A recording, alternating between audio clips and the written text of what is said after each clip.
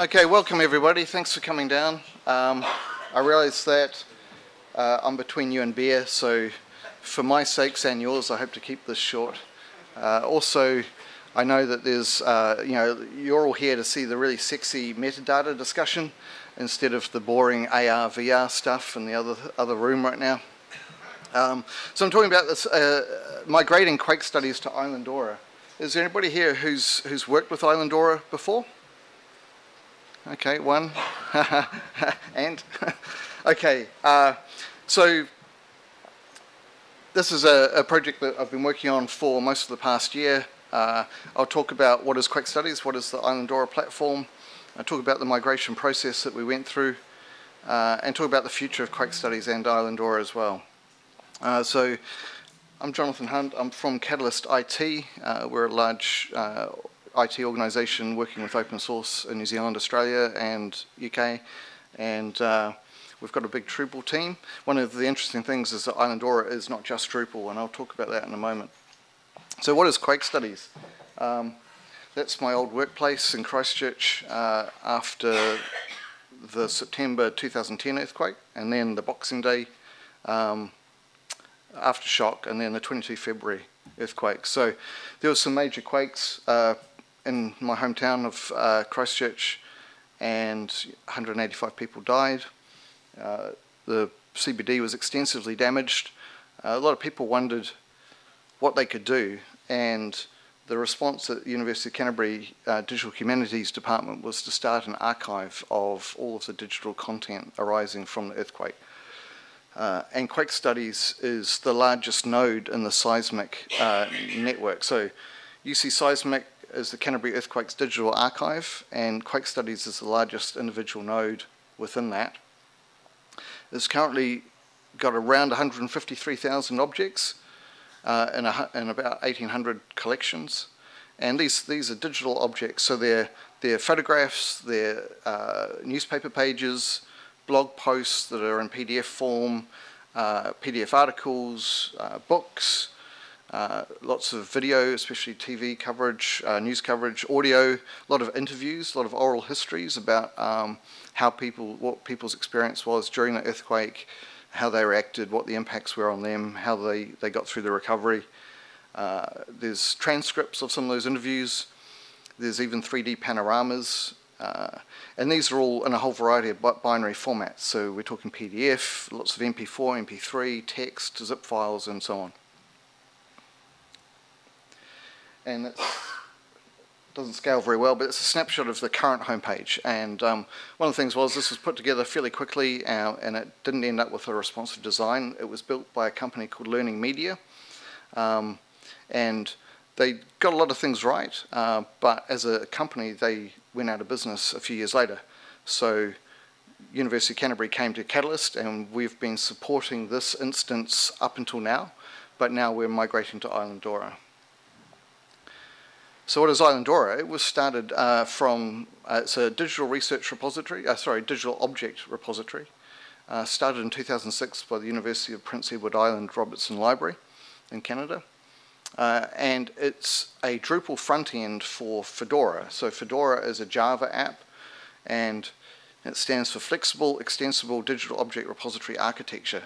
And one of the interesting facts sidebars here is that Fedora predates the operating system by Red Hat by a long way. And in fact, Red Hat had to get permission from Fedora to use the name. Um, so Fedora itself is, is essentially just an API. It doesn't really have an administrative front end. It's just an API. It stores digital objects and the metadata and so there are a couple of front ends that have been built for it. One of them is Drupal, which is why we're talking here today. Uh, there is also a Rails front end called was called Hydra, is now called Samvera. Um, and in fact, if you look up Fedora on the net, you'll find there's actually a whole bunch of different projects around the world all using it as a back-end repository. Um, so Islandora, the key, the, the key components are Drupal is the front end, so you do most of your administration through, the, through Drupal you, the content goes into Fedora uh, and then is indexed into Solr. Uh, and this makes it pretty different to a standard Drupal site, and I'll talk about this in a moment, but it means that most of the content you're working with is not actually in Drupal. So we've got 153,000 objects or so in the Quake Studies archive. I think we have about three nodes, and those are the about pages. So it has very different characteristics compared to typical Drupal sites. Um, but Islandora is really interesting, and I think it has a bright future because it's kind of at the intersection of institutional repository, which is typically a tertiary education wanting, uh, sorry, tertiary education provider wanting to keep copies of all their theses and papers that are produced by faculty and students. And up until very recently, that was typically just PDFs, uh, preprint PDFs or maybe postprint. But research looks very different now, and the outputs are often non-traditional. So the output of, say, a a degree in modern dance might be videos and choreography and a whole bunch of studio notes and things like that, and maybe not a PDF inside. So uh, some of the traditional solutions for institutional repositories are struggling because of the diversity of different file types and, and uh, metadata that needs to be kept. Uh, there's also digital collection management, so that's where you have digital objects, maybe photographs, maybe scans of diaries, etc., uh, that you want to showcase and, and that's often museums and libraries, um, collecting institutions really want to make, uh, give this content the best possible presentation and preserve it over the long term. And increasingly, universities in particular, but um, Crown Research Institutes and so on, are looking for solutions for research data management. So we're awash in data, and it's often not well curated and not well maintained over time and it's all about keeping track of it, understanding the provenance of it, um, versioning it, preserve it preser preserving it for the long term. So um, I'm going to show you a few examples of Islandora just so you get a sense of, of where they're at. So the first one here is, is kind of almost the home of um, Islandora. So this is the Robertson Library at University of Prince Edward Island. This is just a quick snapshot of their search UI. Um, and it has an amazing amount of facets. So you can drill down uh, into the research on lots of different angles in, in, terms of topics and so forth. So that's a classic case of institutional repository. Most of the content is PDFs. Uh, another example is Simon Fraser University, who have a uh, research data repository based on Islandora, and they've kind of built an own an in-house kind of Dropbox. So researchers can just drag and drop their files, and they'll get uh, allocated a DOI, so a document identifier, and they'll go into a repository where they can be held and versioned and uh, pulled out again later. Uh, Vancouver Public Library uh, have got a relatively recent Islandora instance. It's got some nice features. This is their story city map, and if you drill down on the map, uh, unfortunately it's a bit uh, clipped. Um, but you then have access to the interviews, for example. So you, it'll be telling the story of that part of the city. So this is very much for public-facing digital content where you're showcasing a particular collection. One of the most visually impressive ones is the May Bragdon Diaries. Um, this is really nicely themed. Uh, this is not one we've built, um, but it's just really beautiful presentation of a classic case of digital collection management really uh, brings the material to life. In this case, it's a, it's a set of uh, uh, diaries that have been transcribed and the viewing interface means you can see the original and you can see the text that's been marked up as, as TEI and you'll see some of these underlines in the text, that's where they've identified specific people or places. So a lot of those have pop-ups so you can find out more information that can link off. So I'm a big fan of this kind of thing. Not only are you making it accessible, but you're providing this great resource for future research and so on. Um, now I'll do what they always say never to do, which is a live demo. Let's just see if I can pull that off and we'll just see if this is going to work for us. Um, so this is just a quick demo instance that we have got up and running when people ask about what Islandora can do. So typically you have a series of collections that are identified with a thumbnail that can be hierarchical, so you can have collections within collections, and eventually you get down to individual objects. And In some cases, that object is just a simple photograph uh, along with some metadata about that photograph. But it can be almost any binary file with almost any metadata.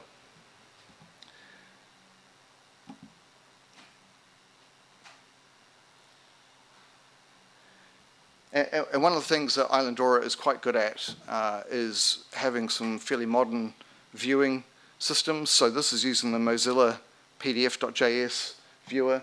So this is a, a scan of a World War I uh, diary. And uh, you know, these days you can do a lot just within the browser with JavaScript. So you can scroll around, around the pages. Um, we can download this as a PDF. You can zoom in and out, all that kind of thing. And just so you get a feel for what's under the hood. This is the data that's in the back end for this book, just one of the pages for that book. So uh, we have the, the original object file that was read in. We have a bunch of derivative images, things like JPEGs and the thumbnail. We've got uh, OCR, so when you upload a PDF, it'll automatically try to extract the text, and if it's an image, it'll perform OCR on that. And you can see the OCR data stream and then the HOCR, which is the OCR text located over the images. So when you do a copy and paste, you're picking up um, the text from that location. One of the other nice viewers is using uh, OpenSeaDragon, which is a tiling image viewer. So this is suitable for uh, high-res scans, so seriously high-res. We've got one example, not this one, that was a 750 meg TIFF file. Um, and it means you can zoom in. Um, so first we can make it full screen with any luck. Uh, not sure if the data connection is that great. Uh, let's just go back to home maybe.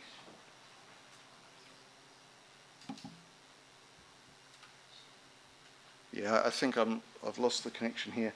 But the um, tiling image viewer, it's kind of like Google Maps, but for scanned documents. So you can zoom right in. It's really smooth and slick, and it really showcases the high-res scans. You can drill right down and see all of the details of the manuscript or, or whatever it is.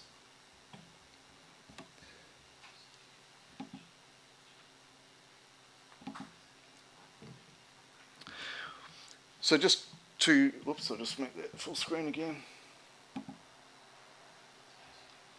So just to reiterate, uh, the nature of the uh, content within Fedora, you have an object and it can have one multiple data streams and those are typically divided up into your binary data, data streams which is typically the original object plus any derivatives that have come from that. So it might be a JPEG and then you might have a, a thumbnail of that. It could be a PDF with OCR. It could be uh, an MP4 that's really high res, and then you have uh, a derivative through FFmpeg or something similar for the video that you showcase to people on the, on the web. Uh, all of that is striped to disk as XML, so all of the metadata is XML and all the binaries get stored on the disk. So even though uh, Fedora has a MySQL database, a traditional database, and it has a triple store, all of the data pretty much within those is created out of the XML. So this is where the digital preservation aspect comes in. The point is those are stable file formats that can be preserved long term. It's not reliant on a database that might get corrupted and suddenly you've lost your critical metadata. Uh, there are a lot of moving parts to the whole ensemble. Um, so I mentioned triple store. Uh, most Islandora by default ships with Mulgara triple store, but that hasn't actually been updated for about five years. So some places are swapping it out for BlazeGraph. And that means you can do some really interesting SPARQL queries and things like that uh, and traverse the graph and, and explore relationships between objects.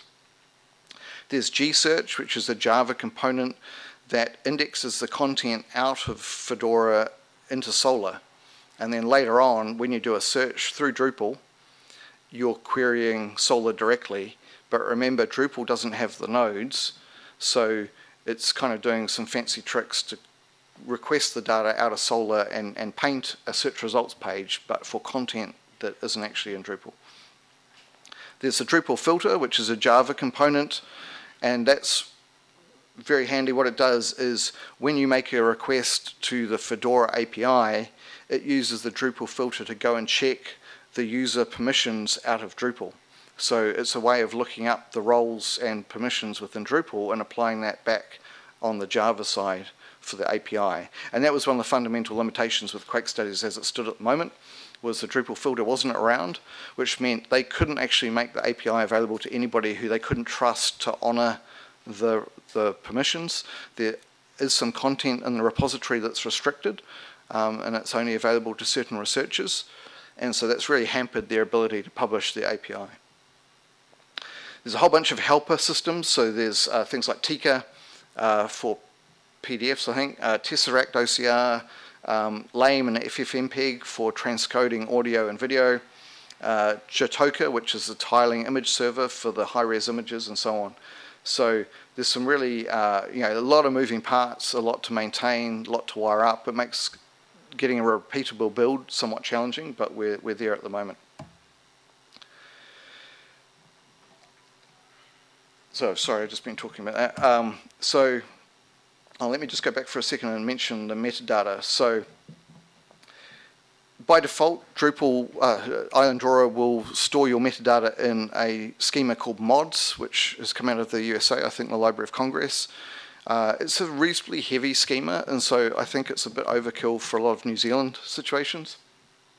Uh, and so we chose to use RDF, and I'll talk about that a, a little bit in a moment. Um, also, the way that, because we've got Drupal, we've got modules, and the way that Islandora tends to work is it uses things called solution packs. So that's typically a solution pack will be a module or maybe a handful of modules, and between them they will specify the metadata formats to be stored, the forms that you enter the metadata in, the, the binary, the, the MIME types that you expect to be handling, like PDF or, or MP3.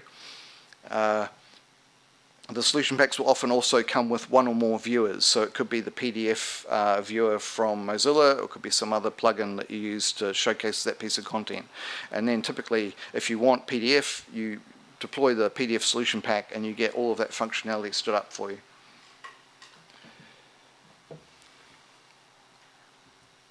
So um, why did Quake Studies want to move? Well, I've already mentioned that uh, the company that originally built it uh, went out of business, which is never great but they were using open components. So they were on Drupal and they were on Fedora. The only thing was it was a one-off special Snowflake build that nobody else in the world was using. Uh, as well as that, there was some niggling bugs, and because we weren't overly familiar with the system, we weren't the originators of it, you know, there were some things that would have been expensive to fix just because of the time taken to assure ourselves that we weren't going to break some other part of the system by changing something. Uh, there was also uh, that security issue I mentioned uh, where they couldn't really make the API available to other researchers or, or interested parties because of the security model. Uh, also, the design wasn't responsive, which you know is, is almost fundamental these days. And there was also the opportunity to simplify the ontology. So what they ended up with was quite a complex ontology. I'm not sure if the colors are coming through terribly well, but the ones marked in red are entities that we dropped in the migration. So they had quite a um, ambitious data model, and it turned out that once they actually got content, they didn't need some of the fields that they'd added and some of the entities that they'd added. So uh, between moving to a community-supported code base and simplifying the ontology, I think they're in a much more sustainable position for the long term. Uh, so just to quickly mention that the main part at the top is literally a part. So they had collections, their definition of objects, and then parts. So objects were a kind of a container, but all of the files were in things called parts. So if you had a book, that might be the object, and then all of the pages of the book would be a part. And it was a kind of an awkward structure. Uh, and then surrounding that were a lot of kind of what I call helping entities. So it was people and place and license and event and things like that. So those were kind of are all kind of peripheral to the objects, but they provide context. So one of the first things we had to do as part of this migration was do some discovery on what content they had, what were the different MIME types, all that kind of stuff. So we we did a lot of poking around. We also had to decide what we're going to move to. Are we going to move to mods? Are we're going to move to Dublin Core. We're going to move to, to something else.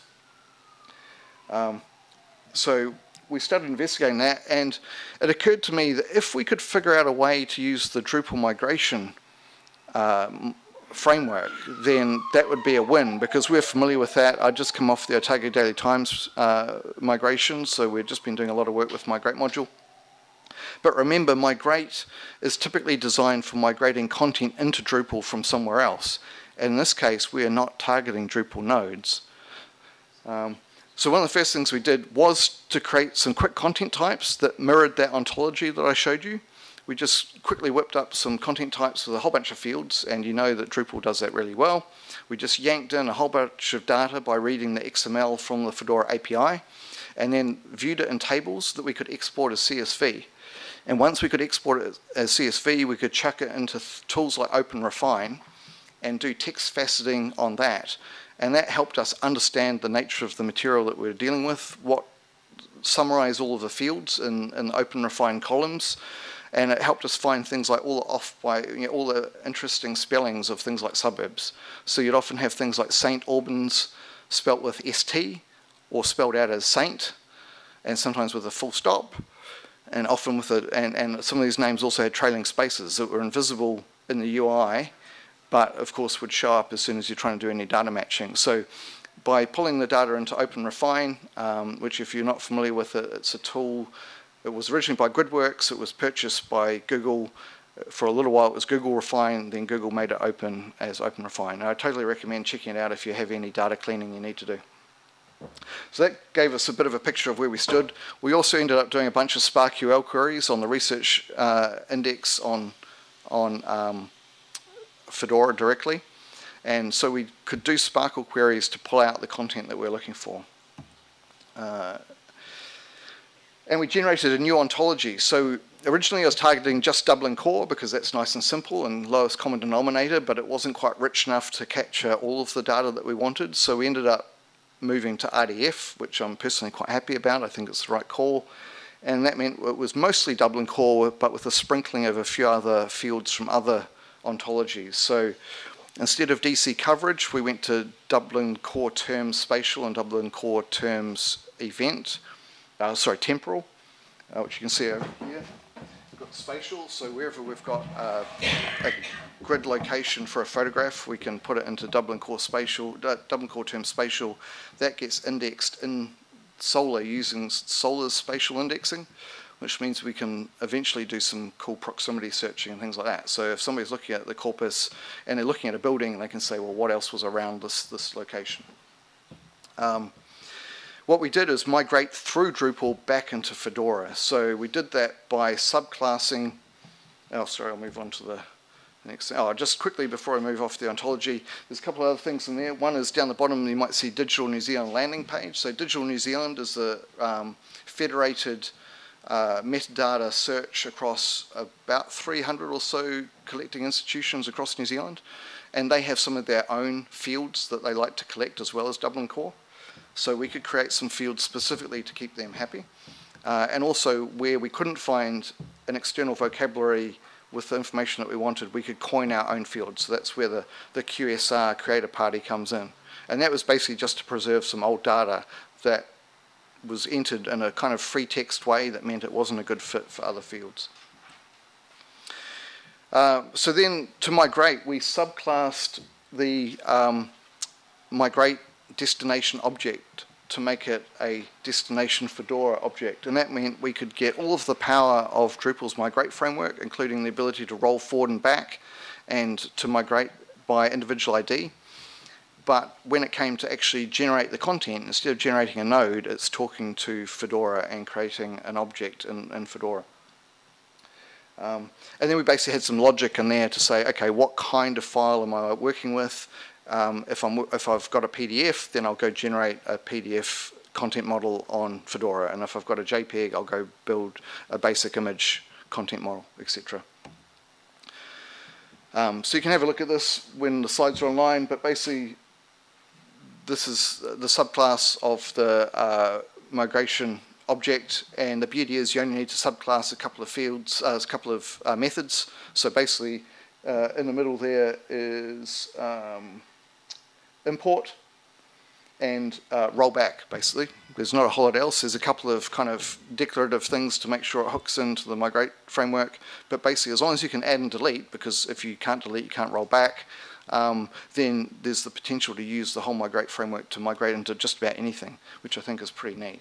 Uh, but of course, when I went looking, I could hardly find any examples of people migrating through Drupal to anything else. Um, this is what Drush looks like on the command line for the migration status. Shows you a whole bunch of migrations, uh, one of which is importing at the moment. The, the ones highlighted in blue are the ones targeting the content models in Fedora. So the ones that aren't highlighted are the ones where we targeted nodes just for that discovery phase.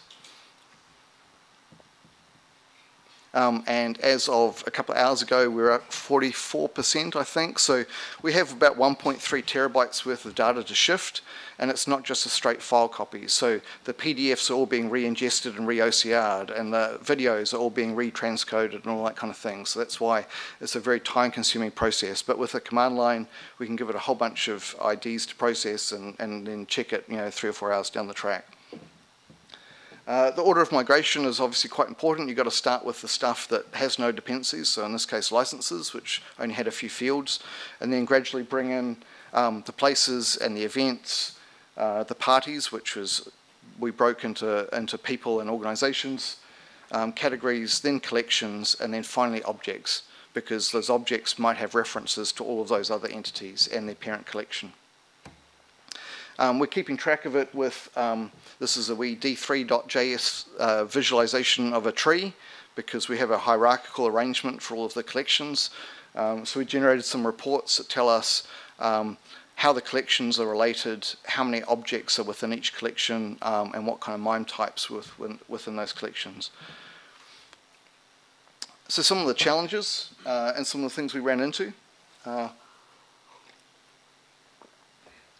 kind of naively, we could just yank the XML out of um, the Fedora API and process it and we'd be good. But very soon after trying that, the whole thing fell over. And it turned out there was an object in there that had 83 megabytes of, of metadata in its XML. And that was, we weren't using a streaming XML parser, so the whole thing, that was enough to choke PHP XML DOM. Um, so we had to rework the, the XML. So the beauty is there's enough flexibility in the Drupal Migrate framework that we could just pull out the pieces of XML that we wanted and basically synthesize a much simpler XML of just the latest version of the object. So we haven't tried to preserve some of the edits to the metadata, just the latest copy. Um, and that, that 83 megabytes was a side effect of, of some brokenness in the old system. Basically every time um, every time an object got added to a collection, the collection metadata got a new version. And because a particular collection had a whole lot of content added over time, the XML just blew out.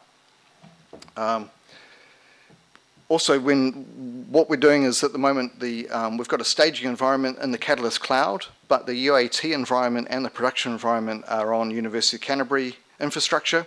And when we first started migrating, we found that we were getting these random DNS timeouts, uh, which wasn't expected. Um, so luckily it was a relatively simple workaround to hard code the IP addresses of the servers, but you know, who would have thought? So always be prepared for the unexpected when it comes to migrating. Uh, like I said, 1.3 terabytes, a lot of data, uh, and all the transcoding. Order of migration, we've been through that. One of the little things again using Drupal Migrate was um, ID list expansions. So where you can specify which object or which collection you want to migrate, but it's just moving that one that you specify. But one of the things that we did was if we provided the identifier for the parent object, it could go off and get all of the IDs. So if we were migrating an object, we could potentially give it a collection ID and it would come back with all of the object IDs for that collection. And it's just a wee shortcut, which is quite nice. Um, and one thing that we're kind of thinking about, we haven't tried in anger, but we hope to very soon, is multiplexing the migration. So basically just subclassing the part migration into multiple parts because, for example, video migration can often take, you know, half an hour to transcode an individual video. And at the moment, you can only migrate, you know, one part at a time. So the next thing to do is, is to just subclass that and see if we can push a whole lot more through. Um, so this is just a glimpse of the the new Quake studies. So it's now a responsive design built on Twitter Bootstrap. Um, you know, the, the collections are way more kind of prominent, um, less kind of boilerplate and nav, and really trying to let the content shine through. Uh, so what's the future for Quake studies now that they're, sorry, I'll go back for, for the photo. Done, thank you. Um, so there's a, you know, a whole, whole backlog of, of potential enhancements that can be looked at once this migration is complete. Uh, one of the first ones that everybody wants to see is maps. I mean, it's a highly location-focused collection, and the obvious way to look at it is through maps, and potentially being able to do things like kind of walk down a street effectively, uh, navigationally, so that when you see a building, you can see what was on either side of that address-wise. Uh, one of the other things we've done, just as an experiment, but we'll productionize it in due course, was a lookup of the LINZ, that's Land Information New Zealand street map, uh, sorry, street address database. They've got 1.9 million New Zealand street addresses and it's all public open data. Uh, and we've got an autocomplete against that data set. So to put that into production, I want to keep that 1.9 million rows in our local database, so you're not round tripping all the way to LINZ for that information, but it already works. And if you choose a street address out of that autocomplete, it then does a second request back to the LINZ data service and it will get the lat long and all of the locality information. Uh, obviously improved displays for contents. Now we've got um, JavaScript-based PDF viewers, uh, more modern um, video viewers, that kind of stuff. Uh, and now they're on a community-based platform, so they're already benefiting or about to benefit from that fact. So while we just kicked off the migration a few weeks ago, uh, Islandora version 7.x 1.10, oh, it should be 1.10 there, sorry, um, just got released. So that comes with a whole bunch of bug fixes and a few enhancements. So uh, we won't interrupt the migration to do that update, but as soon as the migration is done, we can bring them up to date and so they're already benefiting from being part of a wider community of a few hundred, a few hundred other institutions. Um, and they can make their API available. So we've always uh, batted around the idea of doing some kind of hackfest or something where people could come and build apps and visualizations using these data sets um, using this corpus and that wasn't really possible when the API wasn't fully locked down but now we once we're confident that we've got it right um, there's a possibility to do a whole lot of interesting stuff through the API.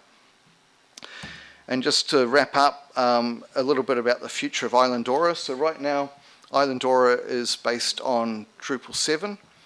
Um, there is a Drupal 8 project in the works and there's already Fedora Commons 4 and between them they implement a lot of interesting stuff. So they're going full noise with RDF as the kind of Uber metadata standard for everything. Uh, it will be a instance of a W3C linked data container. So it's all about the URLs, it's all about uh, the graph, uh, semantic web, that kind of stuff. They're also moving to the Portland Common Data Model. So that's basically an agreement between the Ruby on Rails um, front ends and the Drupal front ends to agree on a common data model for things like collections and objects. Uh, it's really heavily, so there's already some microservices in the current Islandora, but they're again doubling down on a microservice architecture. So all of the transcoding, OCR, derivative gen generation, all of that is a microservice that you call and get a, a response back from. And with that is another um, almost meta API called API X. So that's basically how in a microservice environment you can register your solution pack and basically insert in that pipeline your own microservices to do other pieces of work. So it might be um, shelling off to FFmpeg or it might be reaching out to an identity provider to uh, come back with an identifier for this new asset, all that kind of stuff. Uh, you know, the future is, is really exciting there because it's going to be so powerful and so flexible when it comes to maintaining different kinds of, of data sets and their metadata over the long term. So that's pretty much all I had to say. Has anybody got any questions? Yeah.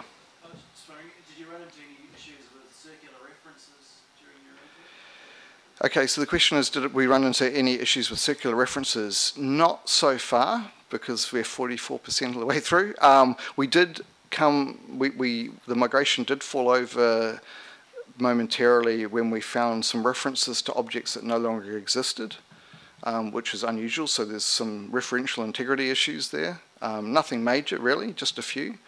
Um, but yeah, so far we'll, we'll, see what happens. But at the moment, we haven't haven't detected that. Any other questions? Oh, sorry, I can't see you because of the light. But yeah, go ahead.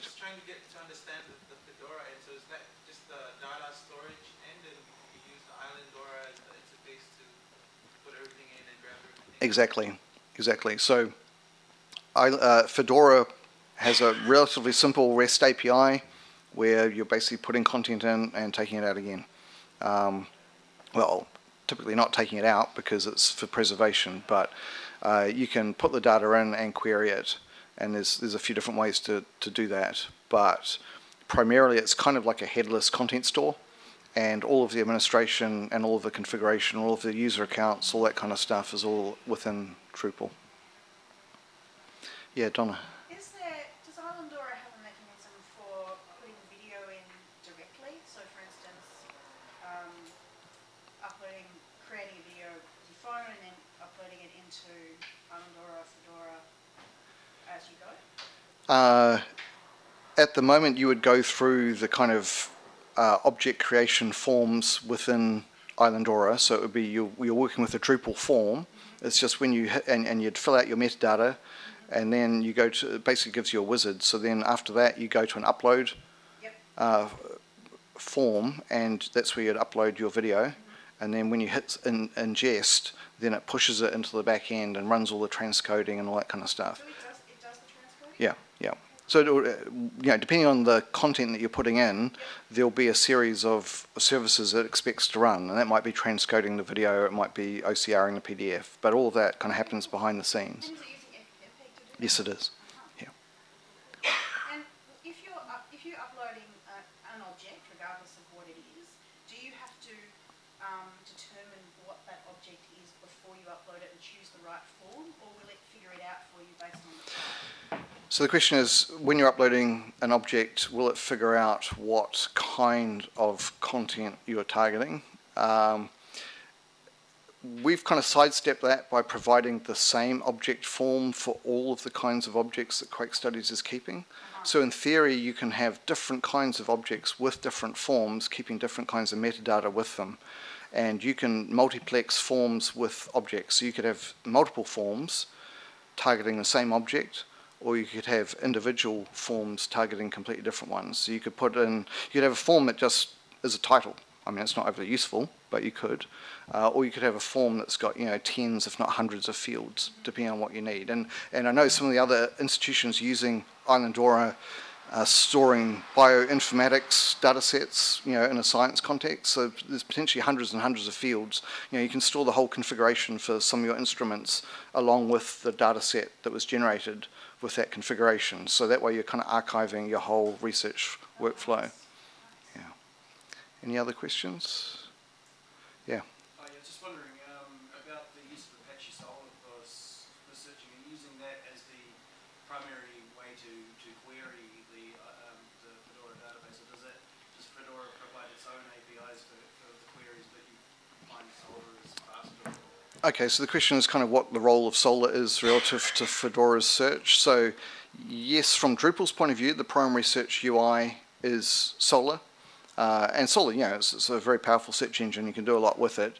Uh, but it's mainly for searching the text content where that's available, which, you know, for an image, for example, it might not be. But there's nothing stopping you putting more data into that Solr, you know, pushing more metadata into Solr with each object. So that way you can facet by collection or by license and all that kind of thing.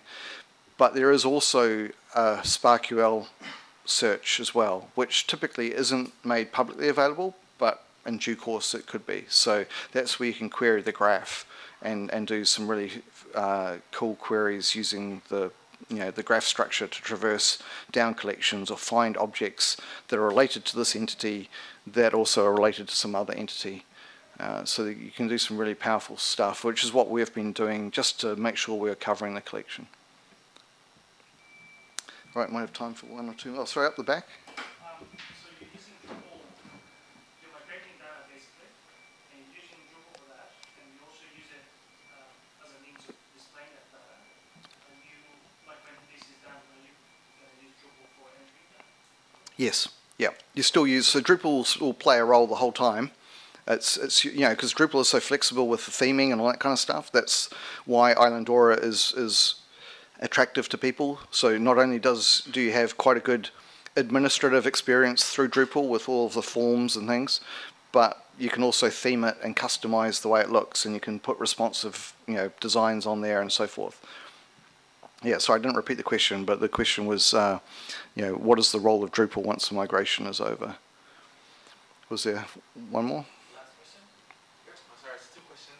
Just the First question on Fedora, does it um, c- cover versioning of documents? And then second version is, in your migration, did you consider other alternatives to Fedora as the data store?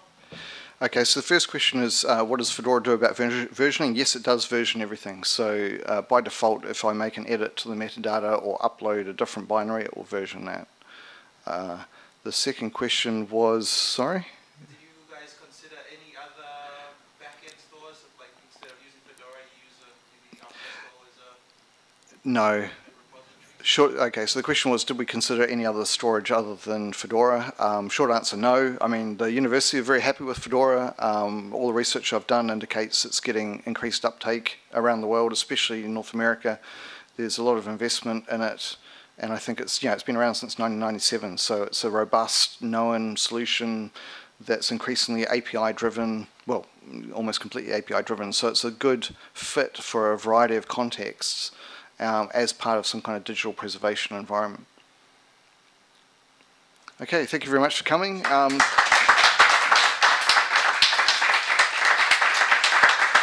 yeah, thanks for joining me at DrupalSouth, and let's enjoy the party. Cheers.